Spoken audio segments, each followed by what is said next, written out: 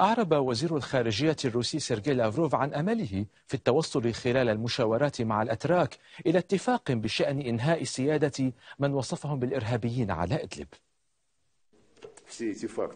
أشدد مرة أخرى على أننا سنعارض أي محاولة لتبرير عمل الإرهابيين المصنفين كذلك بقرار من مجلس الأمن في الأمم المتحدة.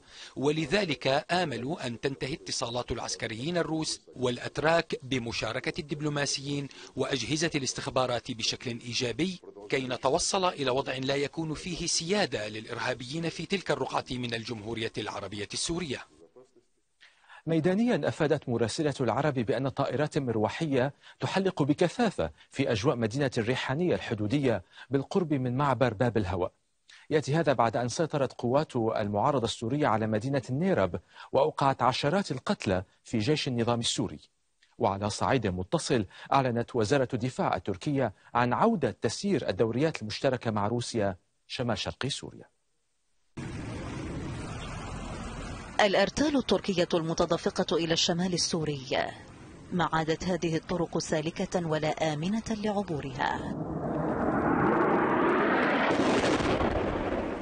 بما يشبه التحدي يلاحقها قصف الطيران الحربي الروسي وقوات النظام المندفعة بشراسة للسيطرة على كامل الطريق الدولي الرابط بين حلب واللاذقية بعد أن استثبت لها السيطرة على الطريق الذي يصل حلب بدمشق.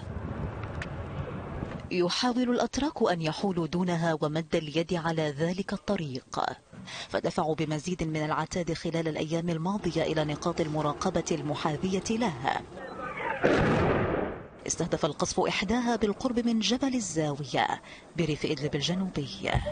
وتلك منطقة وعرة تستعر فيها الآن المعارك وتحاول قوات النظام التوغل فيها وهي لا تقف عنها بعيدا بعد سيطرتها على سراقب ومعرة النعمان.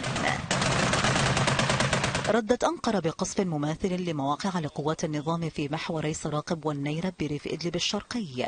هناك حيث تقول المعارضة إنها تتقدم بحذر. تلك فيما يبدو رسائل الميدان الساعية بين الأتراك والروس. موسكو الماضية في قضب مزيد من الأرض وأنقرة التي تتوعد بأن ذلك لن يستمر دون أن تمنعه إلى الآن. وغير عابئة بأي تحذير.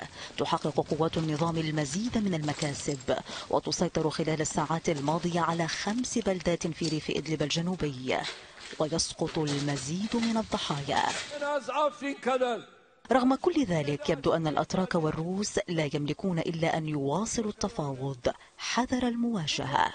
يقول وزير الخارجية الروسي إن أنقرة وموسكو يجهزان لمشاورات جديدة لاحتواء التوتر في إدلب. ويصر الوزير الروسي أن خفض التصعيد لن يتحقق إلا بإخلاء المنطقة ممن يصفهم بالإرهابيين.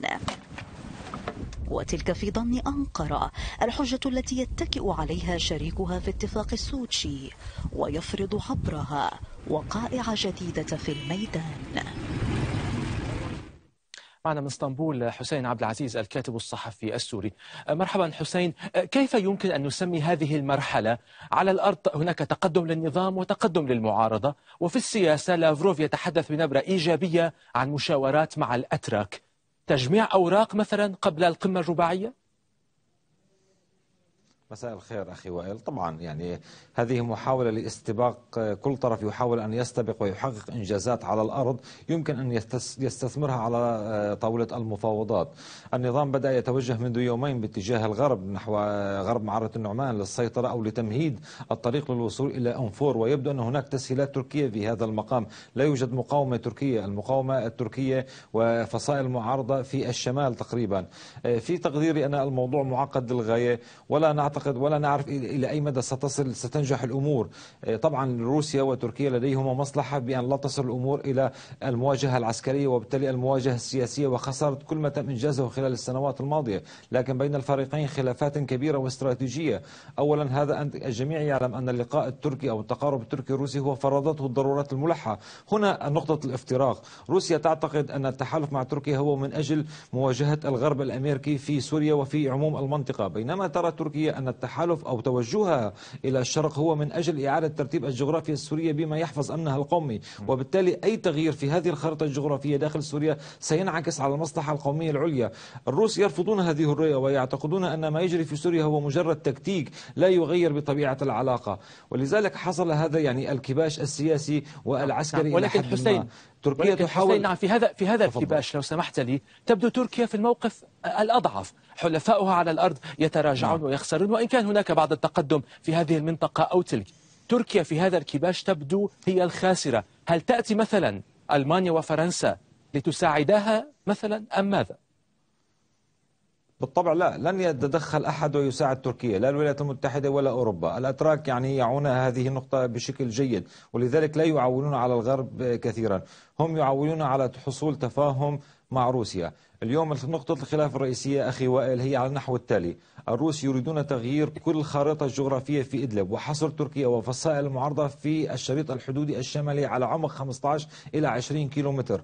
هذا ما ترفضه تركيا جملة وتفصيلا وتصر على تطبيق مذكرة سوتشي قبل عامين ونصف التي تنص على حدود واضحة المعالم. على إثرها تم وضع النقاط ال 12 التركية.